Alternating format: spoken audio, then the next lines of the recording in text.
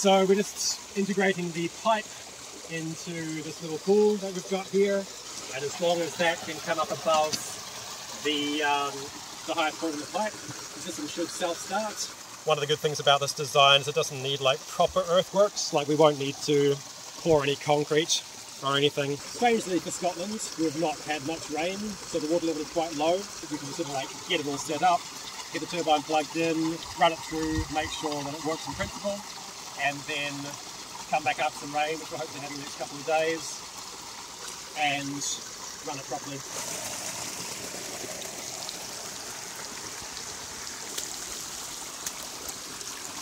Alright, try that, see what happens.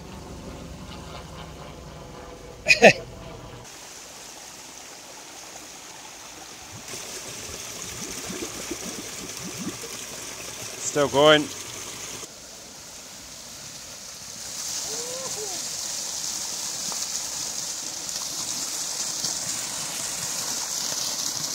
Yeah, it's not a full siphon though.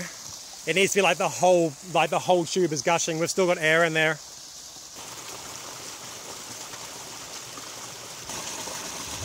You feel it blowing air. Now, hopefully.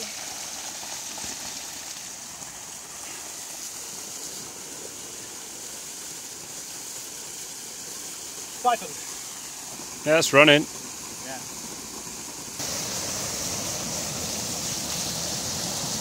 There's no air in that at all.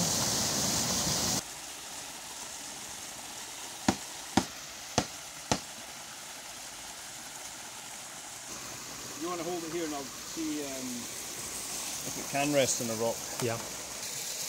Yeah, that's good. It's got the weight.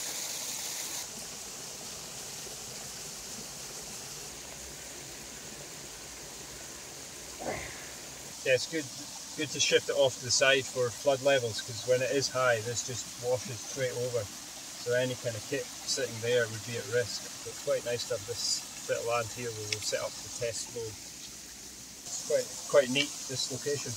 Yeah, no, that's good. I think that's a good, uh, good run. Test the intake a bit and then get everything sort of fixed up and secure Yeah, get a filter in place.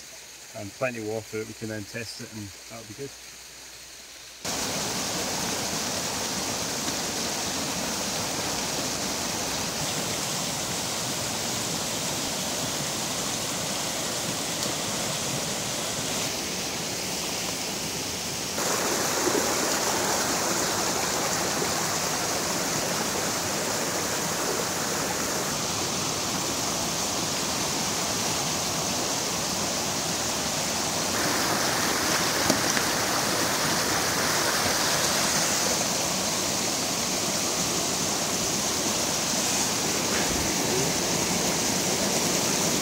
Yeah, and then like the water flow should keep the most of the leaves off. I mean, ideally, we'll see. And then, yeah, there's not much bubble in the water by the time it gets there. A lot of stuff should move past it. Hopefully. I think I think we're in with the shot. Great. Full power.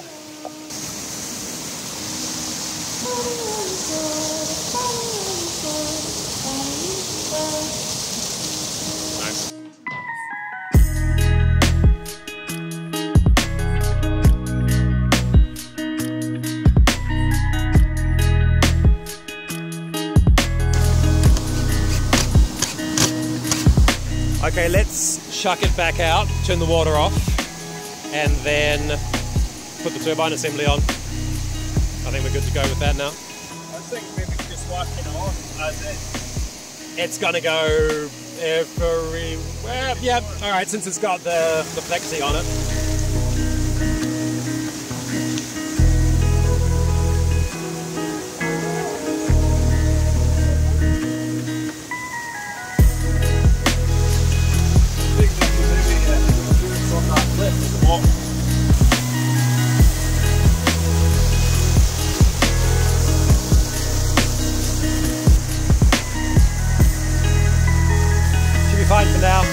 Of have it as a test.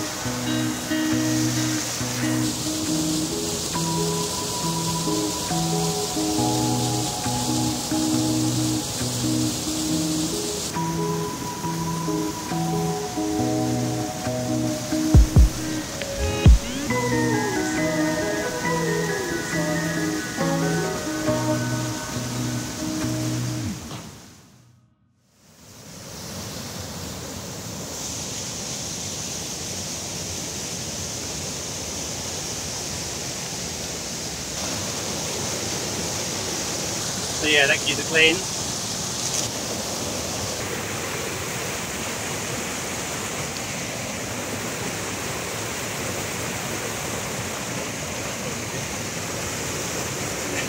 It's actually uh, kind of working as its own screen.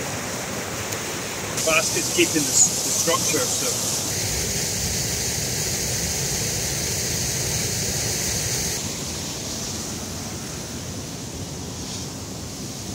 And then the back and sides should hopefully kind of sort of self-clean with the water flow going past them. Is my hope anyway. There's so much surface area that like it doesn't need to be that clean really to have enough uh, intake.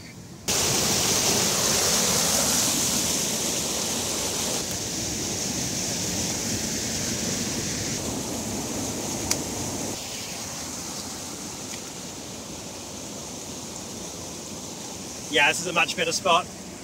Like the water's just so much, uh, yeah, it's so much better quality. always going to be camera. And an extra meter ahead or whatever, or however much should be good as well.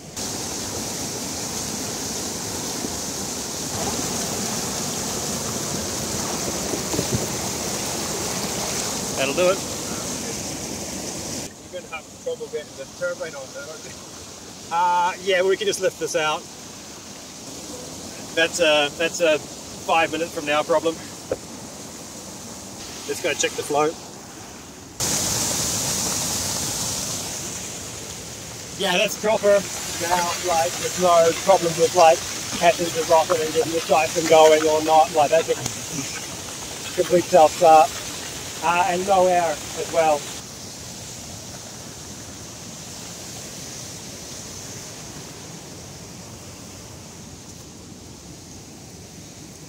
So I'm gonna swap out that runner. So I made up two more runners and discovered that like these uh, angle grinder cases are like the perfect little Yeah. transpo caddy. So this one's more blades, steeper pitch. I feel like that's probably less efficient, but I'll give it a go. But this one is basically identical to the one that's been in there, just without the plastic ring around it.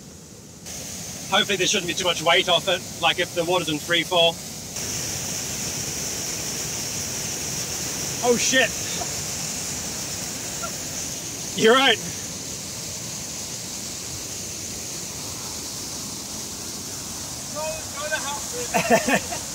Yeah, that was me last time. Are you okay? It's a warm day, how's the water? At least you got to change your clothes like near, nearby. I'm not far away, not like you think. Yeah, it was a interesting train ride home. It's like saturated up to the waist. Uh, you're going to wire it first. Um, let's just get it going, open the circuit, and see what happens, basically. But then, yeah, after that, I'll put a load on it. All right, chuck her in. Now it's moving.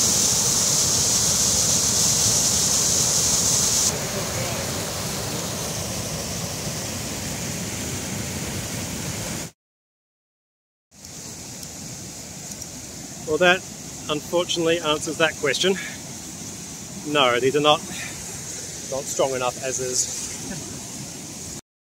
Okay, so take two with the steeper pitched nine bladed fan, which is probably weaker than the other one, if anything. I think, it, well, hopefully the previous one which just snapped was like just a shitty fan, basically.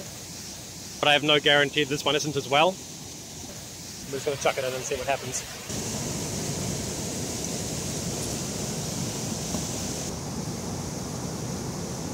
Is that the highest reading to? Seems it. But the steeper pitch fan will bolt lower. Lower speed, higher torque.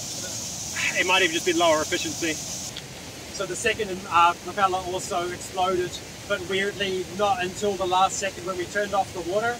It was uh, spinning about 60 volts up until then. That dropped up to 45. It might have lost some blades or there might have been some friction in the system.